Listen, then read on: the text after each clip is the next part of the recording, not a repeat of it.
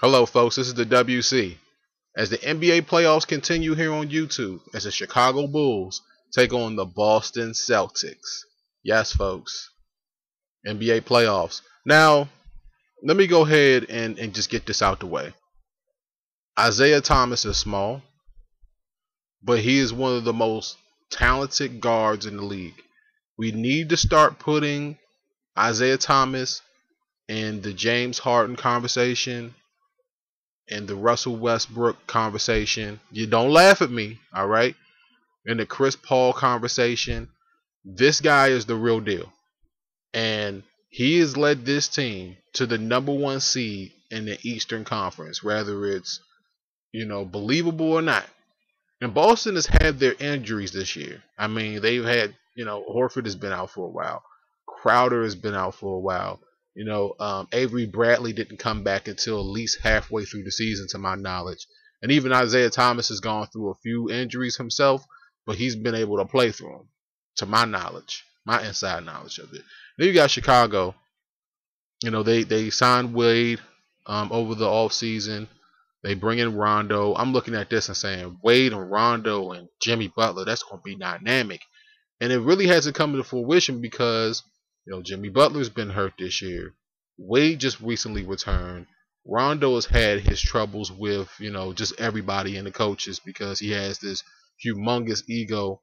Um, you know, and, and this, you know, is whether it's that or it's injuries, the Bulls have suffered this year. You know, Mirotic has been injured. Seems like everybody from the Bulls, Bulls, uh, ball, uh, ball squad has been injured at some time and point during the season. Let's just be honest about it. But they were able to outlast the Heat, who have had their injuries as well, and squeaked it to the playoffs. So here they are. And the eight seed this year is probably one of the most dangerous in ever as ever in the Eastern Conference. So I think that they match up very, very well with the Celtics. All right. The key matchup that I want everybody to focus on in this series, all right, is Avery Bradley versus Jimmy Butler. Okay or Dwyane Wade. Whoever's playing, whoever's checking Avery Bradley, whoever Avery Bradley's checking. I'm just going to assume that that's what it is. Um, Avery Bradley and Jimmy Butler mirror each other so much. Avery Bradley is more of a pure shooter than Jimmy Butler is, but Jimmy Butler can fill up the stat sheet. Um, you know, Jimmy Butler, this team, as the Bulls team goes, you know, Jimmy Butler goes. As, as Jimmy Butler goes, the team goes. And then you have a guy like Mirotic that kind of comes in and you know is is the sidekick. But this is the key matchup. Whoever gets the better of this matchup, you can expect them to you know to win this series. Like I don't think that people understand how close this series is probably going to be, and it shouldn't be because Boston is you know uh, a more complete team from A to Z. But when you look at Chicago, Chicago's not that much far off from where Boston is. I mean, the stats say that that that they are, but when you look at it from a basketball standpoint, it's not that far apart. Okay, as far as like benches go, you know, Boston's got a solid bench with Olynyk and you know Amir Johnson. He might be coming in off the bench for the playoffs and everything. They've got a solid bench, but when you look at their bench, do they scare you? I mean, even as the number one seed, does their bench scare you? Marcus Smart, I think he does scare me.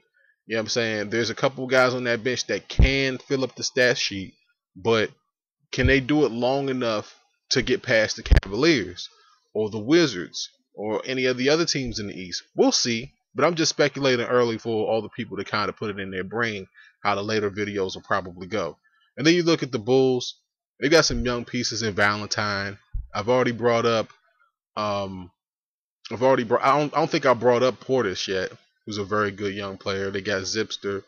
Um, I haven't brought up Ryan Lopez. Oh, no, not Ryan Lopez, but Robin Lopez. My uh, my mistake. Um, he should match up well with Al Horford down low. That's going to be an interesting matchup. Um, overall, I think that the Celtics shouldn't struggle with the Bulls, but I wouldn't be surprised if this series went seven. All right, so I think that Jimmy Butler, you know, is capable of taking this team on his back. All right. I've seen it countless times during the regular season. It translates into the playoffs. Watch out for Mirotic. He's the wild card in this series. But I fully expect for Boston to be able to walk away with this series, maybe in seven games, maybe in six games. If I had to put down a bet, I would say seven. So let me know how you guys feel about this first round series between the Chicago Bulls and the Boston Celtics. This is the NBA playoffs here on YouTube. Can y'all feel it? I can feel it. It's definitely in the air. And until next time, folks, peace out.